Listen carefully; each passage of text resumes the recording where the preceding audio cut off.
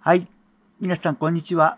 今日は以前にも少し紹介したことがあるんですけれども、イラストを描くときに、例えば、うさぎのボーカリストとかですね、擬人化したようなイラストを描くのに特化した GPT 図、これを作ってあるんです。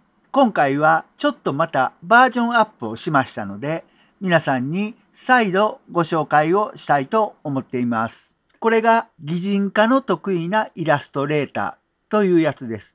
ですから、こいつは頑固なまでにですね、そういうイラストしか描きません。アニメ描いてと言うても描きません。そういうような面白いツールなんです。では、早速やってみましょう。最初は、どんなものを書くのかわからない方は、この右側でサンプルが出てきますので、これを見てください。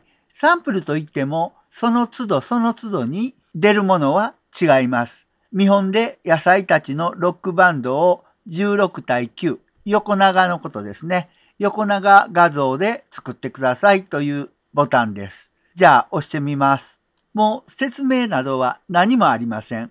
一気に書いてしまうという超単純な100円ガチャのようなソフトです。はい。このようにバンドを書いてくれましたね。このような容量なんです。ですから、もう一度ニューチャットにします。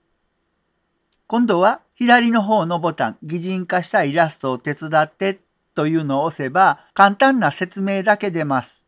操作は簡単です。キュウリのギタリストとか、蝶ネクタイのパソコン、このように指示をしてくださいということです。まず一つやってみましょう。はい。トンボのギタリスト。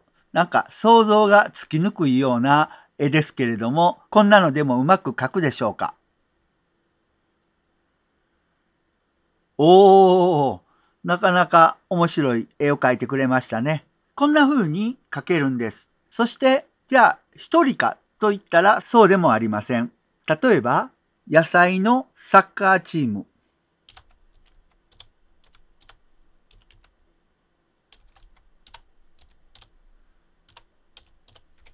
またその背景も一緒に指示することができます。野菜のサッカーチームの試合風景。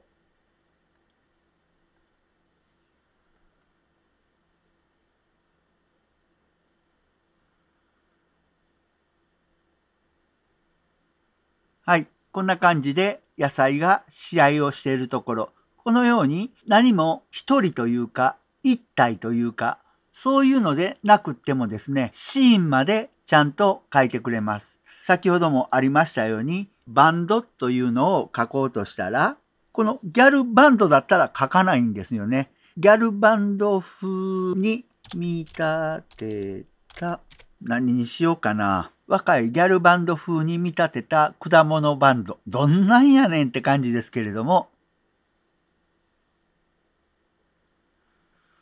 これをうまく解釈したとしたらね、だいぶやっぱり AI というか GPT は賢いですね。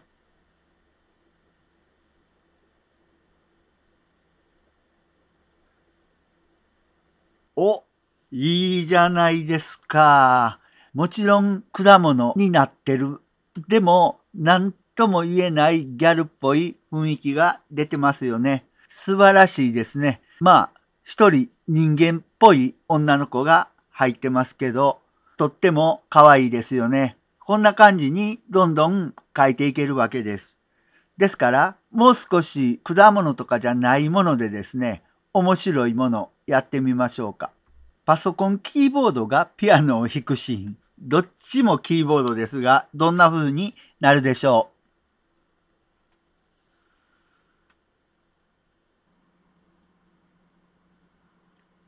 おお。え？キーボードが？キーボードでもないですよね。まあ、なんかパソコンに見立てたような絵になってますが、GPT が頭をひねった結果がこんな感じだということです。楽しいですね。じゃあ、ちょっとここからお話を変えたいと思います。最初の方に書いたようなこのトンボのギタリスト。この下に影が映ったりしてますよね。いろんなところでイラストを使おうと思ったらですね、この状態では使いにくい。そんな時は今やグラフィックソフトの代名詞と言ってもいいほどになりました。キャンバ。こんなのを使ったり今後はいろんな AI ですね。それで背景除去というのができるようになってきます。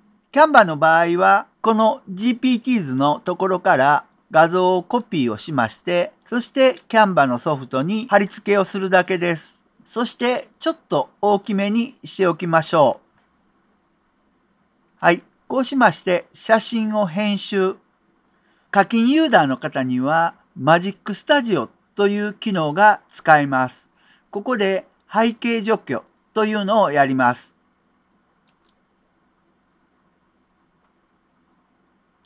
はい。一気に余計な部分の影が取られました。やはりこの辺のところは有料ソフトはとっても便利にできていますよね。このようになれば共有からダウンロードをします。PNG 形式で背景投下。これでダウンロードをします。ドンボのギタリストというふうに名前を付けて保存をしましょう。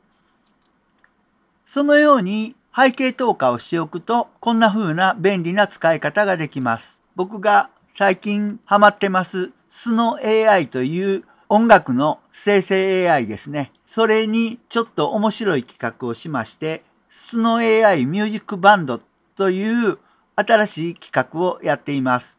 ここにですね、このように別枠でこうやって動かせるわけですね。ですから、先ほどダウンロードしたトンボのギタリストがあります。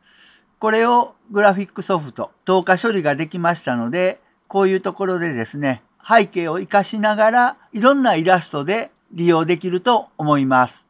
はい、今日は100円ガチャをグリグリっと回すような感じでですね、簡単に擬人化したイラストを描ける、そんな GPT 図をご紹介しました。アップデートしましたので、概要欄の方から自由に無料でお使いください。じゃあ、ご視聴ありがとうございました。まったね